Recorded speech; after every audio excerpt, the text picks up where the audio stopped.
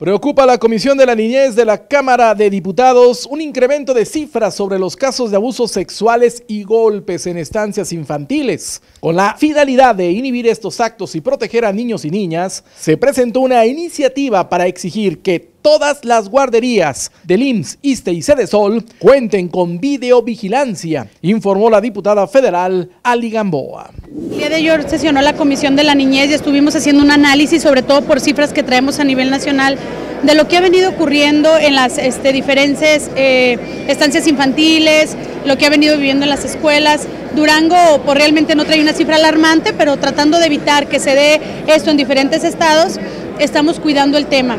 La idea era... ¿Qué es lo alarmante?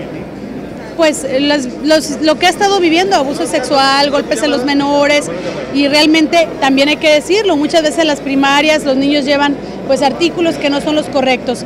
Y por ese sentido estamos haciendo la propuesta de darle legalidad a que tengan videovigilancia hay que decirlo, el ISTE ya reconoció que en sus 128 escuelas va a poner videovigilancia. Falta el Seguro Social, la mayoría son de Sol. Estaremos buscando el año que entra, este, o al finales de este año, un presupuesto extraordinario para algo que es una necesidad por parte de la comisión estaremos empujando el tema para que pueda haber recurso. Por lo pronto es darle legalidad a quienes ya las tienen y a quienes son este, privadas puedan también hacer este, pues esto legalmente. Y eso nos va a permitir a nosotros como papás tener la certeza, pero sobre todo a nuestros niños estar vigilados todo el tiempo y pues hay que decirlo, de lo que llevan a la escuela, pero también eh, quienes eh, los están cuidando pues tengan el respeto y las medidas adecuadas.